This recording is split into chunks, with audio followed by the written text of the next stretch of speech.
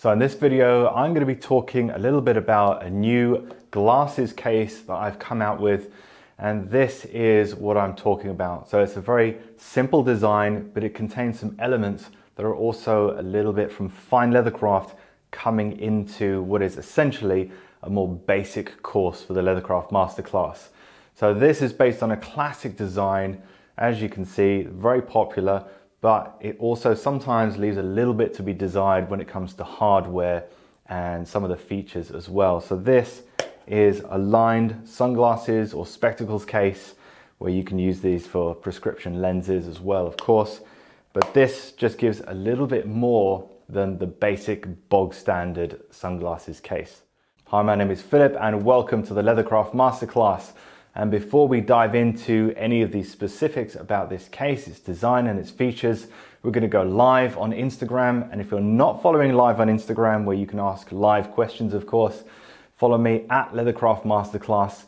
And if you enjoy this video and you feel like I added some value into your craft, don't forget to give me a thumbs up, give me a like below, and that would be much appreciated. So let's go live, take some live questions, and then I'm going to be talking a little bit further in depth about this case. Checking connections. You are now live. Hello, ladies and gentlemen. It's been a while. I'll tell you what I did is after I produced the course on, on how to make this, I actually sent an email out like I normally do to let everybody know that I've actually released the course that you can now watch.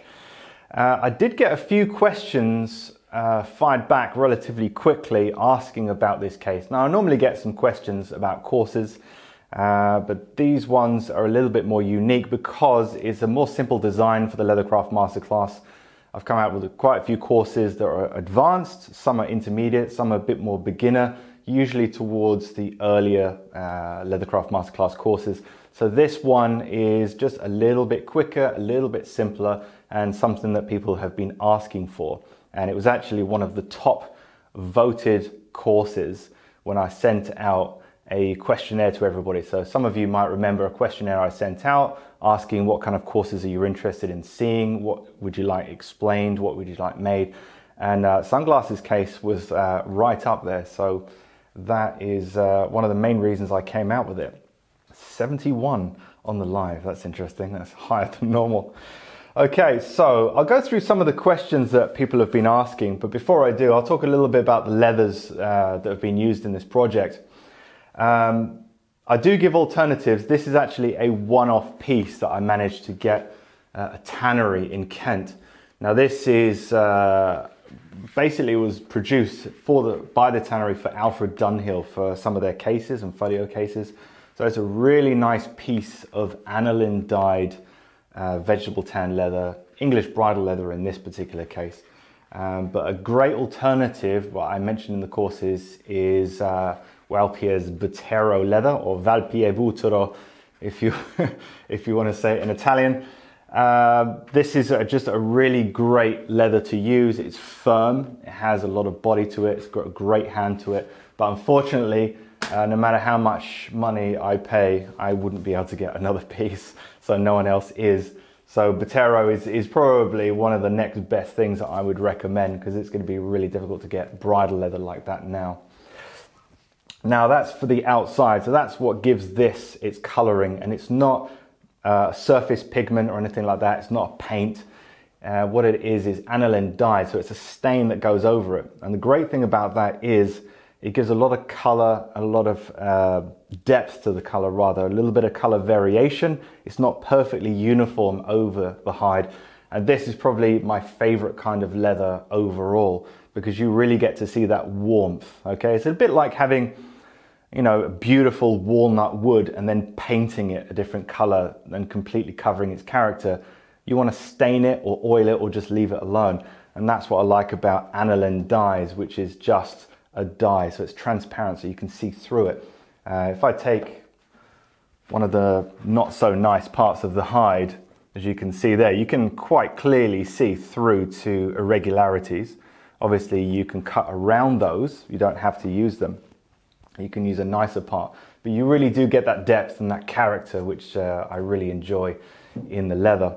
Now, on the inside of the case, as you can see, it's black. So it's uh, black and yellow. I love that combination, to be honest. Looks a little bit like a wasp, I guess, but it's pretty cool. And this is what I'm using. So this is a goat skin. I usually wrap it in uh, brown paper because I have it grain side out to prevent creasing. So you want some protection there with a little bit of a tie. Uh, this is a small goat. It's a probably more kid skin size. It just happened to come that size from the tannery, but it has a very, very fine grain and a lot of softness to it, which is nice because it's more flexible. It's not going to crease as much inside the case itself. And also protects the lenses of your spectacles inside, whether it's sunglasses or prescription lenses or anything like that. Um, so that is what is going on the inside. So for leather, that's it. Uh, and as you'll notice, there is a wrapped snap over the top. And this is something that I like to do for snaps as standard as they come. I'm not a huge fan of snaps themselves. I don't think they look that great. I think they need a little bit more finishing to bring out the best in them because there's not much that's going to take up that, that much of a small profile and still be quite useful. There's no real kind of locks that are that thin and that flat or anything like that. So snaps sometimes are the best option for certain products and this is probably where I think one of them is. So I like to embellish them a little bit more, bring, elevate them, bring them up, and make them look a little bit nicer. And on the inside, we have some infilling. Okay, so infilling is just filling in the gaps and covering up things that don't necessarily look that great. So uh, on the top here, you can see that it's been infilled with the same leather as the lining. Obviously, you know, there are a few changes that have to be made to it in order for, in order for it to fit and make sure it works. Because if you don't do it right, you won't be able to close your snap. And also this front has been infilled as well with the same leather that the exterior of the case is made from. And what this does is it just hides some of the parts because obviously there's metal that's folding over and it's splitting and folding over.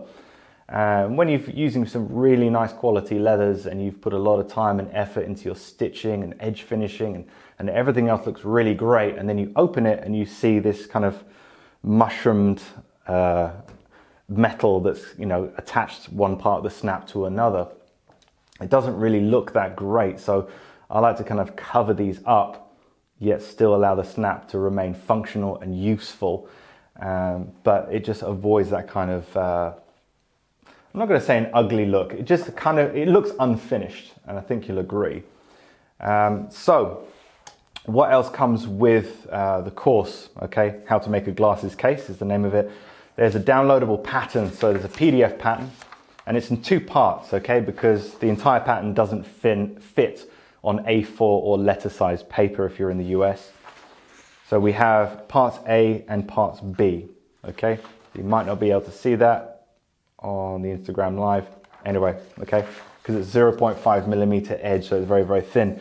So there's the upper part, the bottom part, and then you can glue those with paper glue onto craft card or any kind of pattern card. I prefer craft card, not CRAFT, it's KRAFT. So it's a certain type of card that's very, very thick and firm. Um, so you can glue those parts together and you'll end up with this. Now it doesn't really look like a glasses case at this point, does it? Uh, it's kind of an odd shape, maybe like a jellyfish or something, but that's essentially what you end up with, parts A and parts B together. And that's what you'll be using to cut out your exterior leather uh, to create the case. Obviously there's a fold line there, so uh, some work has to be done on that. And the second pattern is actually a very, very small piece. And this is the nose piece, okay? So this is where normally the bridge of your nose, there's a gap in your sunglasses, such as these. And on the inside, you can clearly see that small piece there. And that is what centers the glasses inside, stops them rattling around, for example, uh, and also keeps them protected because when you press your snap, you want to make sure that you're not pressing down and crushing your sunglasses on the inside. So if you didn't have that nose piece, you'll have the issue of your glasses your glasses rattling around, so they're held quite securely. Uh, but at the same time, that nose piece takes the pressure when you need to squeeze the, uh, the snap shut. All right, so I'm going to take a sip of my cappuccino. Hmm, that was not on purpose. Just realized that. Okay, so um, some questions via, via email that I got back. And the first question is Is this project good for a beginner? Is this a beginner's project? Now, you might be looking at it and thinking, okay, there's a bit of stitching around the outside, along the inside, there's wrap snaps, uh, there's a lining on there, there's infilling going on. Uh, this is not something I'm familiar with as a beginner. Is this going to be for me? The idea of this project is to be quite versatile. So this, as it sits, is probably kind of a middle of the road uh, when it comes to difficulty. As a beginner, you don't have to do, do the lining. You can take the overall thickness, and if you're using vegetable tan leather that has a finished back, for example, so the flesh side has been finished at the tannery and is nice and smooth, you'll be able to tell instantly if you turn your hide over and it's all fluffy or you know it's you could re- really easily pick up the fibers with your nails. It's generally unfinished, it's just been split. If it's finished, usually a resin coat uh, protects it and it will look very similar to the grain side. So that's a finished back. Um, you could easily make a sunglasses case with a finished back hide, vegetable tan leather, nice and firm. Uh, so you don't need to do the lining. If you don't want to wrap the snaps, if you don't want to infill the snaps, you don't have to. Instead of doing edge paint, you could just burnish the edges. So you can make it as simple as you want. But I would say if you're new to the craft and you're looking at it and thinking, oh, some of those parts are a little bit intimidating, just take it step by step and just follow the direction as I take you through the course.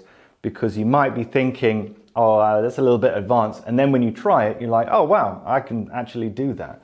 Uh, which is the whole idea behind the masterclass, is to get you to do things that you didn't think you could do.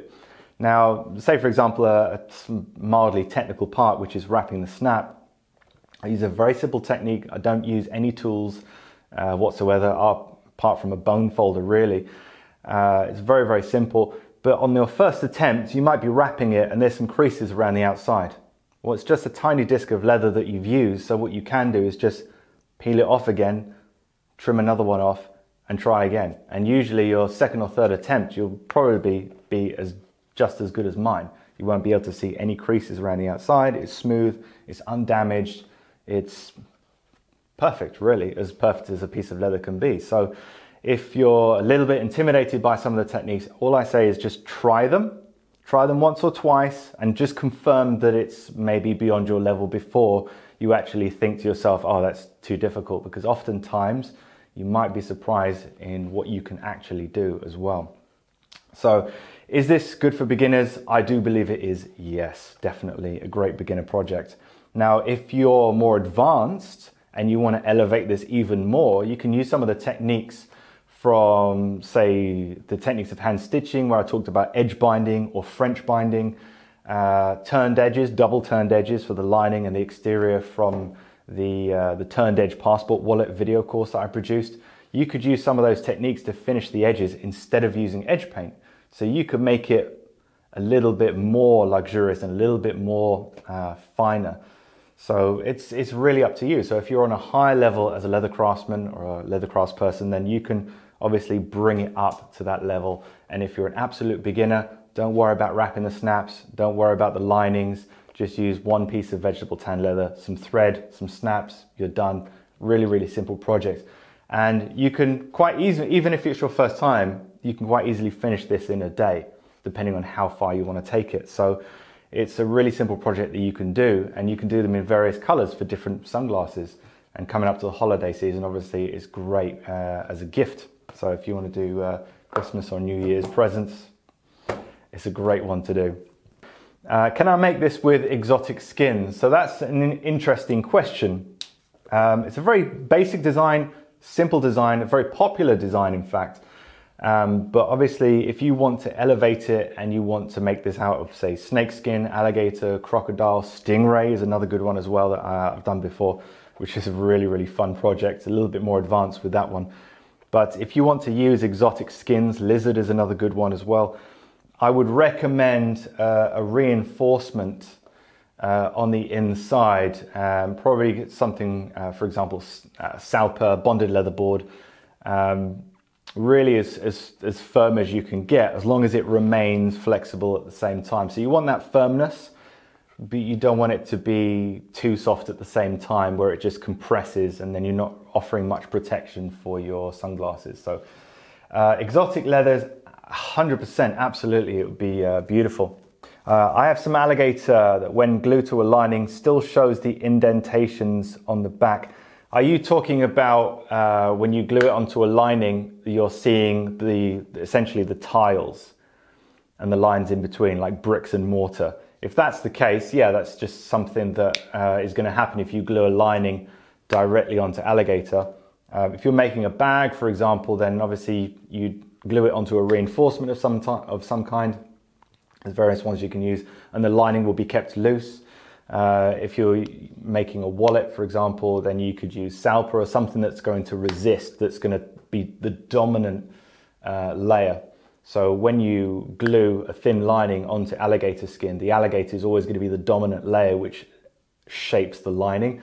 So a, a direct glue-on lining isn't always uh, the best. I wouldn't consider it an ugly look uh, by any means. It's not particularly desirable look, but um, I, I understand your pain. So next question, um, would this work with chrome tan leather?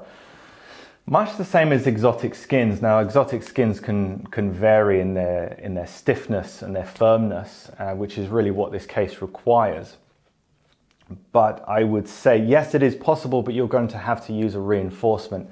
And if you're using thick chrome tanned leather, then in, in order for the whole assembly to um, not be too thick, your reinforcement is going to have to be thinner. So I would say it would, ha- it would need a thin layer of chrome tan leather on the outside, a reinforcement such as Salpa, or a very, very firm layer of vegetable tan leather, and then it's sandwiched in between the lining as well, making sure you stay within the thicknesses ideally is what you want. So yes, it can be done with chrome tan leather, but uh, it's uh, a little bit more tricky, a little bit more technical, and you might have to prototype to, uh, to make it work.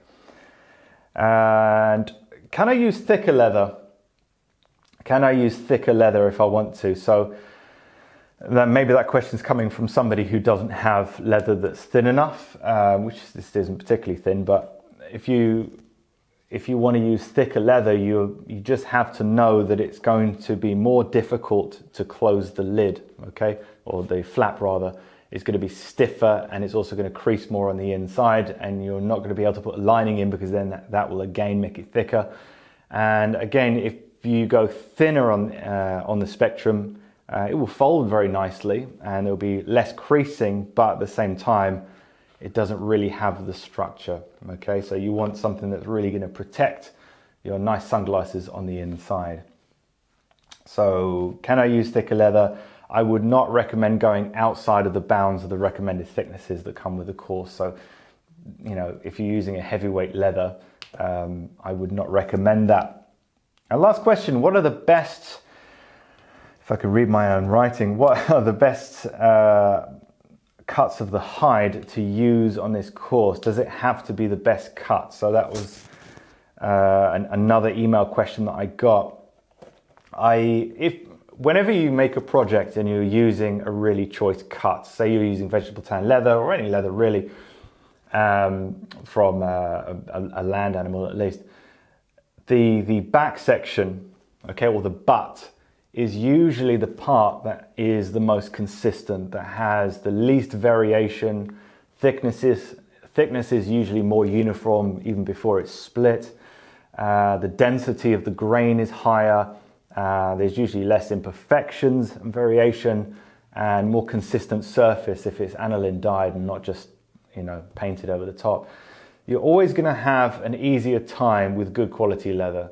You know, you can make the same project with the same patterns, with the same tools and the same technique on a mediocre piece of leather and then you try the same thing on a really high quality piece of leather and it's like night and day. I always say to people, Always test your leather. Don't just buy what everybody else is buying or what's really popular or these boutique brands or boutique tanneries that are producing supposedly the greatest stuff. Always test your leather. Make sure that you're happy with the way it stitches, creases, folds, edge finishes, you know, everything. Do all your testing on it to make sure it is good quality. But, you know, if you can use a choice cut of the hide, going back to the question, then do so But this piece here was made from the shoulder, which is usually kind of the second best.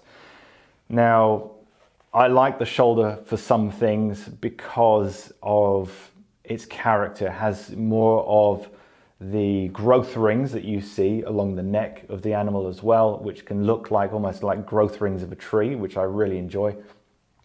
Uh, I think it's quite decorative, especially on an attache case.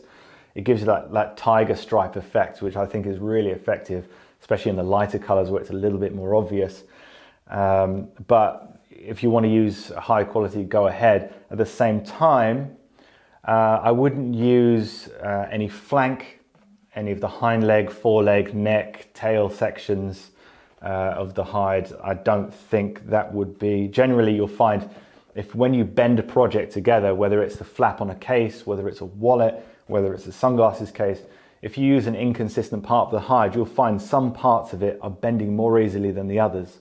And that's grain densities inconsistent in those extreme areas around the hide. So that's something to be aware of, um, avoiding those extremities for that reason. So you'll be folding the top, and this side's folding more easily than this side. And you're having to pinch this side more to counteract that. And it's generally not a great idea. So when it comes to the lining, however, because the lining is not the dominant layer, the lining is the subordinate essentially, it's following the guidance of the exterior stiffer leather. Um, you can choose a part that is, you know, on the flank or near the legs, as long as it's not too loose on the grain is what you're looking for. Uh, try and choose the most consistent part, but it doesn't have to be the best. So if it's your first time making this and you're worried about cutting into the best parts, especially on the lining, you don't have to worry about that so much. So, you know, even if you've got a blemish, you can put the blemish towards the fold line, which is here between parts A and B. And then when it's folded, especially with the nose piece placed inside, you're really not going to see it. So it doesn't matter too much as long as it's soft uh, and it's, it's not going to come under high wear. It's only holding uh, some sunglasses or your prescription lenses. So that is uh, essentially, you don't need the best cut for the lining in this particular case. If you're doing a lining for a bag, however, where you are putting things inside and pulling them out and it's, you know, it's subject to stretching and friction and things like that, then you do want a good quality lining for that. But glue-in linings on something that doesn't come under high wear, you can kind of get away with using some more of the extremities, uh, and in this case, uh, goat skin. Great info, and thank you. Hope your travel was lovely. It was lovely. uh, why do I like Uhu glue? Uhu glue, for those of you who don't know, it's a German contact adhesive. It uh, usually comes like this. Uh, I like it because you can really dilute it down with acetone uh, and just put them in here make a thin leather, thin layer, and uh, you know, especially on um, things like where you're gluing leather onto metal. If you have thick glue and it's a bit lumpy, for example, sometimes you can see that through the leather, through the thin leather. So it goes on very, very thin, and it's very, very easy to get it on small, uh, small area, especially with one of these little bottles that you can buy on eBay and AliExpress and things like that. Uh, I believe the difference is, I think uh, Uhu or Uhu is uh, acrylic plastic base. I could be wrong, but it's usually a little bit firmer, a little bit stiffer, so I don't use it on highly flexible parts. Um, but it's not like rubber. It's a very, very clear, I believe it's plastic rather than uh, neoprene rubber. And either tomorrow or the next few days, something to be aware of. And if you're on YouTube watching this after the fact, it should be up there now. Uh, I'm going to be doing another 60 minute project. Okay, so a 60 minute project, and this one coming up is going to be a knife slip. Not similar to a sheath, but it's a knife slip for uh, your kitchen knives at home. So the knife that I'm going to be using is a little six inch French Sabatier knife, and I'll be using some nice vachetta leather to do a 60 minute project from cutting it out, fitting it, stitching it, edge finishing it, ideally, hopefully, in 60 minutes. So if you're interested in that, don't forget to look out. I'll start putting stories up to make sure that uh, everyone knows that the project is coming up and I'll tell you exactly what you need to get started so you can try and join in and see if you can keep up, or you can, uh, at the very least, sit back, relax, watch, make notes if you want to, and, uh, and you might learn something new. So thank you for watching, guys, and don't forget if you haven't got the tool buyer's guide and also the leather selection video, don't forget to go on to leathercraftmasterclass.com, linked below, and there you will find a pop up, enter your email address, and I will send you the guides straight away. So the leather selection video is going to be teaching you exactly what to look out for when it comes to selecting high quality leather, what you need, the kind of tests that you should do on samples so that you don't even have to buy a hide. You can do all your testing on the samples and that way you can save a lot of money, find the best leathers for your projects and just make life a lot easier in the process. The tool buyer's guide will show you exactly what you need depending on the level of craft that you're at. So if you're a beginner, intermediate, advanced, there's different sections of what you'll probably be needing at that point in your craft. So as your experience grows, you know what kind of things you might be needing at that point. But very importantly, what you don't need so that you can get the best results without having to overspend. And that's the idea behind it. So make sure you go onto leathercraftmasterclass.com linked below and get your free guides. So thank you very much for joining me. If you liked this video, don't forget to give me a thumbs up and I will see you in the next video. Thanks for watching.